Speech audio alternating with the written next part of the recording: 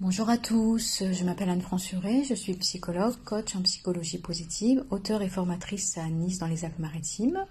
Je reçois à mon cabinet, je propose aussi des téléconsultations. Je fais partie de la team des psychologues interculturels et cette semaine, je vous propose un podcast en audio sur le couple et je voulais vous donner quelques conseils pour, euh, un couple harmonieux, quelques, quelques éléments qui me paraissent importants pour euh, qu'un couple fonctionne bien. Alors dans un premier temps, les bases doivent être solides pour aller dans la même direction.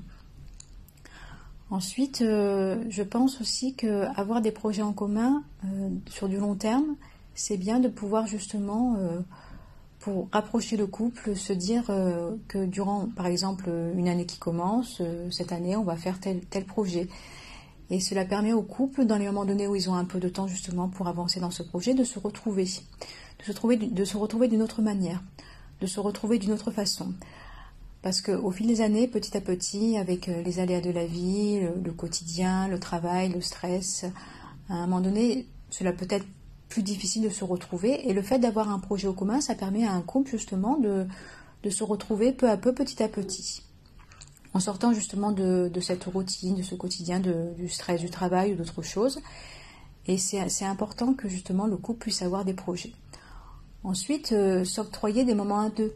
Continuer à faire euh, au fil des années des, euh, des, soirées en amoureux, en amoureuse, des, continuer les petites attentions, les petits mots doux, les petits textos, les, cartes, les surprises. C'est important justement de montrer à l'autre qu'on ne le considère pas comme une acquisition, qu'on essaie toujours de, le séduire, de le reconquérir petit à petit au fil des années. C'est important. Ensuite, euh, avoir une sexualité épanouie. La sexualité ne fait pas tout, mais elle fait partie du couple. Et c'est important d'avoir euh, cette sexualité présente d'une manière régulière, je dirais. Et par extension aussi, je pense aussi que ce qui est important, c'est avoir une bonne communication.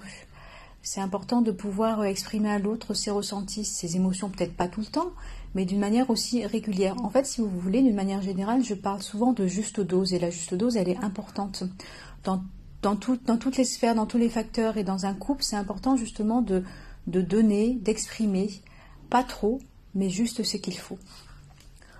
Ensuite, euh, j'avais noté aussi accepter son, son partenaire tel qu'il est, avec ses qualités et défauts, comme s'accepter soi-même avec ses qualités, ses défauts, ses traits de caractère. Et euh, de là, en fait, euh, il y a cet amour que je parle souvent inconditionnel.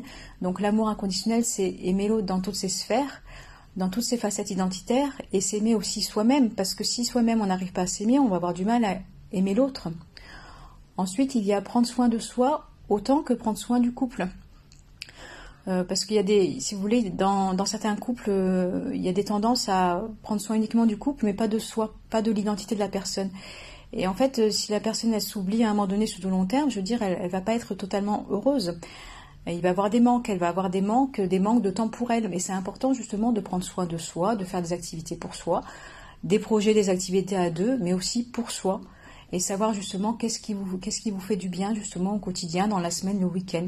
Donc le prendre soin de soi est aussi important que le prendre soin du couple. Si on est bien soi-même, on est bien dans le couple. Si on est bien soi-même, on est bien dans le couple. Je répète, je fais exprès de le répéter pour que ça soit bien ancré. Ensuite, c'est important aussi, je trouve, avoir confiance avoir confiance en l'autre, en son partenaire, en sa partenaire. Et pour ça aussi, il faut avoir confiance en soi. Plus on a confiance en soi, plus on a confiance en l'autre. Et si par exemple vous avez eu, je ne sais pas, une ancienne euh, histoire d'amour, euh, un mauvais souvenir, c'est bien de travailler là-dessus justement pour pouvoir euh, faire de nouveau confiance, se faire de nouveau confiance à soi et confiance à l'autre aussi plus facilement. C'est important de faire de manière régulière un travail sur soi, pour le couple aussi. Ensuite, j'avais noté faire des compromis. C'est important de faire des compromis. Alors pour moi, il y a vraiment une distinction compromis-concession. Pour moi, une concession, j'aime pas trop parler de concession. Parce qu'une concession, c'est un des deux qui est, frustré en fait. Tandis qu'un compromis, c'est par exemple dans une soirée, euh, vous allez voir un film au cinéma qui fait plaisir à votre compagne, et après, euh, ou avant, plutôt, vous allez au restaurant, ou après, pourquoi pas, vous allez au restaurant, restaurant que l'un des deux préfère, pour que, en fait, dans la soirée, les deux soient satisfaits. Pas juste un des deux, mais les deux. C'est ma façon de penser là-dessus. Je trouve que c'est mieux les compromis que les concessions. Après, euh, accepter les différences, accepter les avis différents, c'est pas parce qu'il y a des sujets, euh, par exemple la politique ou d'autres sujets où vous n'êtes pas du tout d'accord, euh, vous n'avez pas, du tout la même façon de penser, que ça y est, c'est la fin du monde. Non, vous avez le droit d'avoir des pensées différentes, et sans pour autant que ça, qu'il y ait un impact sur votre amour de l'autre en fait, parce que vous êtes deux personnes différentes, deux personnes complémentaires et vous avez des avis différents et c'est normal. On peut avoir des avis en commun euh, sur beaucoup de sujets et avoir des avis différents sur d'autres sujets. Mais ça fait partie de l'individu. On ne faut pas non plus se calquer sur l'autre pour faire plaisir à l'autre et, c'est important justement que montrer à l'autre que vous avez, euh, euh, même si vous avez un avis différent de, lui ou d'elle, bah, vous continuez sur cet avis différent. Vous n'allez pas vous dire bah, finalement tu as raison, ton avis c'est mieux. Non, restez sur votre avis. Vous avez votre avis, votre partenaire a son avis, vous n'avez pas le même avis, mais c'est pas grave. Vous voyez? Alors voilà pour ces, euh, pour ces conseils que je vous donne aujourd'hui hein, dans ce podcast en audio. N'hésitez pas à marquer en commentaire si vous avez d'autres choses aussi que j'ai pas que pas ciblées peut-être sur le podcast, hein, que vous avez envie justement de, euh, de donner un conseil à toutes les personnes qui vont écouter de cet audio. Je vous souhaite une belle journée, prenez soin de vous, car n'oubliez pas, prendre soin de soi, c'est s'accorder de l'importance. Ciao ciao